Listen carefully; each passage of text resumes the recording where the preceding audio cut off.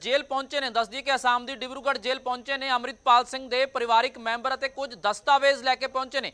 ਦਰਅਸਲ ਅੰਮ੍ਰਿਤਪਾਲ ਸਿੰਘ ਦੇ ਲੋਕ ਸਭਾ ਚੋਣ ਲੜਨ ਦੀ ਚਰਚਾ ਚੱਲ ਰਹੀ ਹੈ ਤੇ ਉਹਨਾਂ ਦੇ ਵਕੀਲ ਰਾਜਦੇਵ ਸਿੰਘ ਦੇ ਵੱਲੋਂ ਇਹ ਖੁਲਾਸਾ ਕੀਤਾ ਗਿਆ ਸੀ ਕਿ ਅੰਮ੍ਰਿਤਪਾਲ ਸਿੰਘ ਨਾਲੋਂ ਮੁਲਾਕਾਤ ਕਰਕੇ ਆਏ ਨੇ ਤੇ ਅੰਮ੍ਰਿਤਪਾਲ ਸਿੰਘ ਨੇ ਲੋਕ ਸਭਾ ਚੋਣਾਂ ਲੜਨ ਲਈ ਹਾਮੀ ਭਰ ਦਿੱਤੀ ਹੈ ਤੇ ਖਡੂਰ ਸਾਹਿਬ ਤੋਂ ਉਹ ਉਮੀਦਵਾਰ ਹੋ ਸਕਦੇ ਨੇ। ਤੇ ਇਸੇ ਦੇ ਵਿਚਾਲੇ ਅੰਮ੍ਰਿਤਪਾਲ ਸਿੰਘ ਦੇ ਪਰਿਵਾਰਿਕ ਮੈਂਬਰ ਅਸਾਮ ਦੀ ਡਿਬਰੂਗੜ੍ਹ ਜੇਲ੍ਹ ਪਹੁੰਚੇ ਨੇ। ਕੁਝ ਦਸਤਾਵੇਜ਼ ਲੈ ਕੇ ਪਹੁੰਚੇ ਨੇ। ਜੇਲ੍ਹ ਅਥਾਰਟੀਜ਼ ਦੇ ਵੱਲੋਂ ਦਸਤਾਵੇਜ਼ਾਂ ਦੀ ਪੜਤਾਲ ਕੀਤੀ ਜਾ ਰਹੀ ਹੈ। ਤਸਵੀਰਾਂ ਤੁਹਾਨੂੰ ਅਸਾਮ ਦੀ ਡਿਬਰੂਗੜ੍ਹ ਜੇਲ੍ਹ ਦੀਆਂ ਦਿਖਾ ਰਹੇ ਹਾਂ। ਉਸ ਵੇਲੇ ਜਦੋਂ ਅੰਮ੍ਰਿਤਪਾਲ ਸਿੰਘ ਦੇ ਪਰਿਵਾਰਿਕ ਮੈਂਬਰ ਜਿਹੜੇ ਨੇ, ਉਹ ਡਿਬਰੂਗੜ੍ਹ ਜੇਲ੍ਹ ਪਹੁੰਚੇ ਨੇ। ਅਸਾਮ ਦੀ ਡਿਬਰੂਗੜ੍ਹ ਜੇਲ੍ਹ ਦੱਸਦੀ ਹੈ ਕਿ 1 ਸਾਲ ਤੋਂ ਵਧੇਰੇ ਸਮੇਂ ਤੋਂ ਐਨਐਸਏ ਦੇ ਤਹਿਤ ਅੰਮ੍ਰਿਤਪਾਲ ਸਿੰਘ ਆਪਣੇ 9 ਹੋਰ ਸਾਥੀਆਂ ਦੇ ਨਾਲ ਡਿਬਰੂਗੜ੍ਹ ਜੇਲ੍ਹ ਦੇ ਵਿੱਚ ਬੰਦ ਹੈ ਤੇ ਇਸ ਦੌਰਾਨ ਲੋਕ ਸਭਾ ਚੋਣ ਲੜਨ ਬਾਰੇ ਅੰਮ੍ਰਿਤਪਾਲ ਸਿੰਘ ਦੇ ਚਰਚਾ ਚੱਲ ਰਹੀ ਹੈ ਕਿ ਅੰਮ੍ਰਿਤਪਾਲ ਸਿੰਘ ਲੋਕ ਸਭਾ ਚੋਣ ਲੜ ਸਕਦੇ ਨੇ। ਹਾਲਾਂਕਿ ਪਰਿਵਾਰਿਕ ਮੈਂਬਰਾਂ ਨੇ ਇਸ ਤੇ ਜਿਹੜੀਆਂ ਟਿੱਪਣੀਆਂ ਕੀਤੀਆਂ ਸੀ, ਉਸ ਦੇ ਵਿੱਚ ਕਿਹਾ ਸੀ ਕਿ ਅਸੀਂ ਉਹਨਾਂ ਦੇ ਨਾਲ ਮੁਲਾਕਾਤ ਕਰਨ ਜਾ ਰਹੇ ਹਾਂ,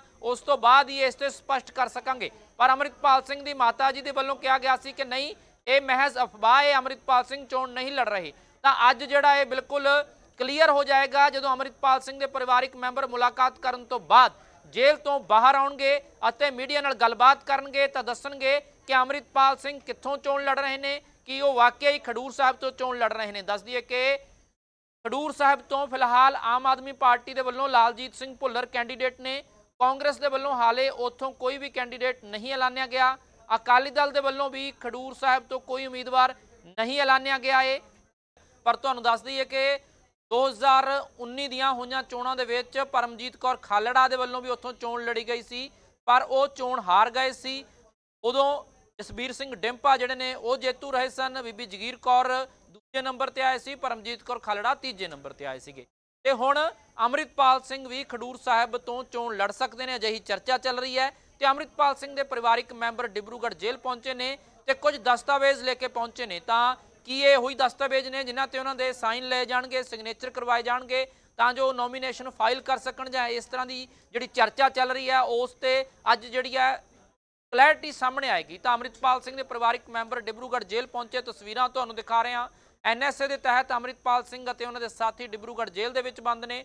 ਤੇ ਦੱਸ ਦਈਏ ਕਿ ਹੁਣ ਦੂਜਾ ਸਾਲ ਹੈ ਐਨਐਸਏ ਦੇ ਤਹਿਤ ਨੈਸ਼ਨਲ ਸਿਕਿਉਰਿਟੀ ਐਕਟ ਦੇ ਤਹਿਤ ਅੰਮ੍ਰਿਤਪਾਲ ਸਿੰਘ ਤੇ ਉਹਨਾਂ ਦੇ ਸਾਥੀ ਜਿਹੜੇ ਨੇ ਜੇਲ੍ਹ ਦੇ ਵਿੱਚ ਬੰਦ ਨੇ ਤੇ ਅੰਮ੍ਰਿਤਪਾਲ ਸਿੰਘ ਦੇ ਵੱਲੋਂ ਪਿਛਲੇ ਦਿਨਾਂ ਦੇ ਵਿੱਚ ਭੁੱਖ ਹੜਤਾਲ ਵੀ ਕੀਤੀ ਗਈ ਸੀ, ਹਾਲਾਂਕਿ ਉਸ ਨੂੰ ਵਾਪਸ ਲੈ ਲਿਆ ਗਿਆ ਸੀ। ਉਦੋਂ ਮੰਗ ਕੀਤੀ ਜਾ ਰਹੀ ਸੀ ਅੰਮ੍ਰਿਤਪਾਲ ਸਿੰਘ ਦੇ ਵੱਲੋਂ ਕਿ ਉਹਨਾਂ ਨੂੰ ਪੰਜਾਬ ਦੀ ਕਿਸੇ ਜੇਲ੍ਹ ਦੇ ਵਿੱਚ ਸ਼ਿਫਟ ਕੀਤਾ ਜਾਵੇ, ਪਰ ਅਜਿਹਾ ਨਹੀਂ ਕੀਤਾ ਗਿਆ ਤੇ ਹੁਣ ਅੰਮ੍ਰਿਤਪਾਲ ਸਿੰਘ ਲੋਕ ਸਭਾ ਚੋਣ ਲੜ ਸਕਦੇ ਨੇ। ਹਾਲਾਂਕਿ ਇਸ ਤੇ ਥੋੜੀ ਦੇਰ ਤੱਕ ਜਦੋਂ ਅੰਮ੍ਰਿਤਪਾਲ ਸਿੰਘ ਦੇ ਜਿਹੜੇ ਪਰਿਵਾਰਿਕ ਮੈਂਬਰ ਨੇ, ਪਿਤਾ ਨੇ, ਹੋਰ ਪਰਿਵਾਰਿਕ ਮੈਂਬਰ ਨੇ ਜਿਹੜੇ ਮੁਲਾਕਾਤ ਕਰਨ ਲਈ ਗਏ ਨੇ, ਉਹ ਬਾਹਰ ਆਉਣਗੇ। ਤਾਂ ਇਸ ਤੇ ਹੋਰ ਸਥਿਤੀ ਜਿਹੜੀ ਆ ਉਹ ਸਪਸ਼ਟ ਹੋਵੇਗੀ ਕਿ ਕਿਸ ਲੋਕ ਸਭਾ ਕੰਸਟੀਚੁਐਂਸੀ ਤੋਂ ਉਹਨਾਂ ਨੇ ਇਲੈਕਸ਼ਨ ਲੜਨੀ ਹੈ, ਕੀ ਉਹ ਲੜਨਗੇ ਇਲੈਕਸ਼ਨ ਜਾਂ ਫਿਰ ਨਹੀਂ ਲੜਨਗੇ, ਇਸ ਤੇ ਵੀ ਸਪਸ਼ਟ ਜਿਹੜਾ ਰੂਪ ਦੇ ਵਿੱਚ ਦੱਸਿਆ ਜਾਵੇਗਾ।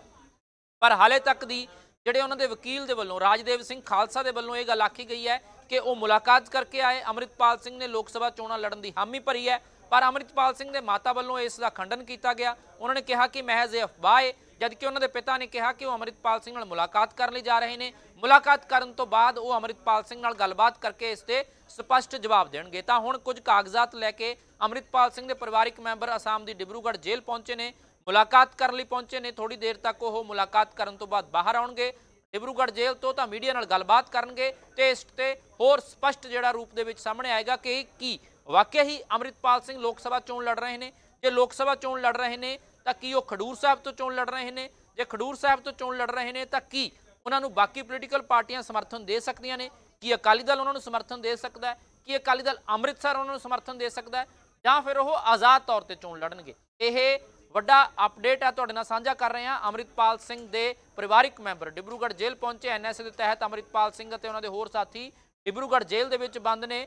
ਦੱਸਦੀ ਹੈ ਕਿ ਪਿਛਲੇ ਸਮੇਂ ਦੇ ਵਿੱਚ ਅੰਮ੍ਰਿਤਪਾਲ ਸਿੰਘ ਜਦੋਂ ਜੇਲ੍ਹ ਤੋਂ ਬਾਹਰ ਸੀ, ਤਾਂ ਪੰਜਾਬ ਦੇ ਵਿੱਚ ਇੱਕ ਚਰਚਿਤ ਨਾਮ ਸੀ ਅੰਮ੍ਰਿਤਪਾਲ ਸਿੰਘ ਦਾ। ਉਹਨਾਂ ਦੇ ਵੱਲੋਂ ਖਾਲਸਾ ਵਹੀਰ ਦੀ ਸ਼ੁਰੂਆਤ ਕੀਤੀ ਗਈ।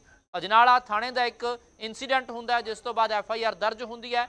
ਤਾਂ ਅੰਮ੍ਰਿਤਪਾਲ ਸਿੰਘ ਦੇ ਹੱਕ 'ਚ ਅਤੇ ਵਿਰੋਧ ਦੇ ਵਿੱਚ ਬਹੁਤ ਸਾਰੀਆਂ ਆਪੋ ਆਪਣੀਆਂ ਰਾਏ ਨੇ, ਪਰ ਇਸ ਦੌਰਾਨ ਅੰਮ੍ਰਿਤਪਾਲ ਸਿੰਘ ਦੇ ਲੋਕ ਸਭਾ ਚੋਣ ਲੜਨ ਦੀ ਚਰਚਾ ਵੀ ਹੈ। ਕੀ ਲੱਗਦਾ ਹੈ ਕਿ ਅੰਮ੍ਰਿਤਪਾਲ ਸਿੰਘ ਜਿੱਤ ਸਕਦੇ ਨੇ? ਕੀ ਖਡੂਰ ਸਾਹਿਬ ਦੇ ਲੋਕਾਂ ਨੂੰ ਜਿਤਾ ਸਕਦੇ ਨੇ? ਇਹ ਵੀ ਜਦੋਂ 4 ਜੂਨ ਨੂੰ ਜੇਕਰ ਉਹ ਇਲੈਕਸ਼ਨ ਲੜਦੇ ਨੇ 1 ਜੂਨ ਨੂੰ ਵੋਟਾਂ ਪੈਣਗੀਆਂ 4 ਜੂਨ ਨੂੰ ਨਤੀਜੇ ਆਉਣਗੇ, ਉਦੋਂ ਪਤਾ ਲੱਗੇਗਾ। ਪਰ ਫਿਲਹਾਲ ਜਿਹੜੀ ਚਰਚਾ ਹੈ ਅੰਮ੍ਰਿਤਪਾਲ ਸਿੰਘ ਦੇ, ਚੋਣ ਲੜਨ ਦੀ ਹੈ। ਤੇ ਵਕੀਲ ਰਾਜਦੇਵ ਸਿੰਘ ਦੇ ਵੱਲੋਂ ਇਸ ਸੰਬੰਧੀ ਮੀਡੀਆ ਦੇ ਸਾਹਮਣੇ ਇਹ ਗੱਲ ਆ ਕੇ ਆਖੀ ਗਈ ਸੀ। ਨਿਊਜ਼ 18 ਤੇ ਇੰਟਰਵਿਊ ਦੌਰਾਨ ਵੀ ਰਾਜਦੇਵ ਸਿੰਘ ਦੇ ਵੱਲੋਂ ਇਹ ਗੱਲ ਆਖੀ ਗਈ ਕਿ ਅੰਮ੍ਰਿਤਪਾਲ ਸਿੰਘ ਚੋਣ ਲੜ ਰਹੇ ਨੇ। ਪਰ ਹੁਣ ਹੋਰ ਸਪਸ਼ਟ ਹੋਏਗਾ ਜਦੋਂ ਅੰਮ੍ਰਿਤਪਾਲ ਸਿੰਘ ਦੇ ਪਰਿਵਾਰਿਕ ਮੈਂਬਰ ਜੇਲ੍ਹ ਤੋਂ ਬਾਹਰ ਆ ਕੇ ਮੀਡੀਆ ਦੇ ਨਾਲ ਗੱਲਬਾਤ ਕਰਨਗੇ।